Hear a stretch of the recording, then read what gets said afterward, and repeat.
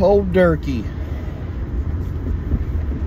I think you need to have um, Squareworks Media on your podcast, Dirk. I think you need to have Chig and Bo fly him out and then say that you paid for it. And I think you need to interview him, and I think like you'll get tons of subscribers and views off of it. Tell him to bring you some some drugs, because Squitler's got the drugs, man. By the way, I uh, watched Guitar Fingers video and I seen you had a pistol in your seat on the floor of uh, the car. What's wrong with you, man? You're an idiot. That's what you are. You're never going to amount to anything, bro. You're a crazy, deranged lunatic that you can't do wrong, but everyone else fails you. Think about it and you said that you're sober, you're not sober, man. You're not sober at all. There's like two videos out that shows you, or doesn't show you. Sounds like you're uh, snorting pills or whatever you're doing. But honestly, how are you passing drug screens, dude? That's what I want to know. If you're getting tested, if you're getting tested three or four times a week, or no, your buddy got tested three times. That's what you said three times a week, you get tested twice. How are you passing these drug screens? On one hand, you say that I'm not Derkie, this is Derek.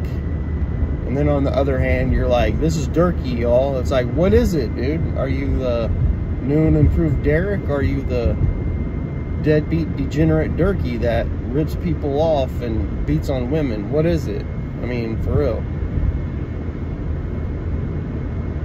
I'm gonna be honest with you, like, I'm super surprised that you still have subscribers, man, because all you do is lie and all you do is beat on women. And for God's sakes, how is your mom and Chig still letting you live there?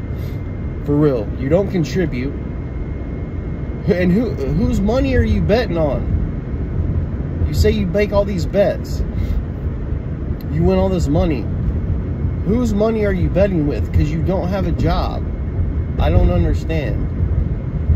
I think since I've been in the Derkie verse, uh, I think I've literally, I think you've worked for a month in like a few years.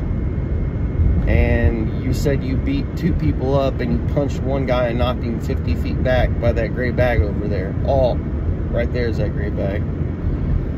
So let's be honest, man like, what are you really doing? I honestly, I don't want to see anyone go to jail, but if someone beats on a woman, they need to go to jail.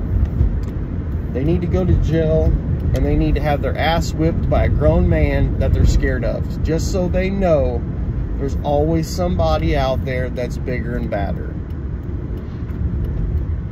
So, Dirk, I think you need to start training. I think you need to put on some weight.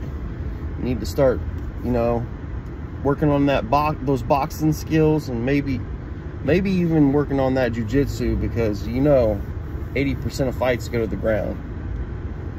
So have a good one, little Derek Castle or Derkie.